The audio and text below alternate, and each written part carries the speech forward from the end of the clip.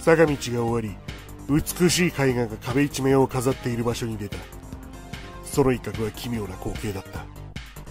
右側の壁に傷一つついていない壁があるがもう10歩ほど先の同じ壁には破壊されてできた大穴が開いているのだ。また部屋の正面から上り坂が始まっている。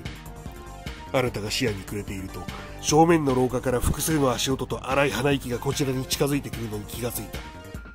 何者かはわからないがここに立ち止まっていたら見つかってしまう。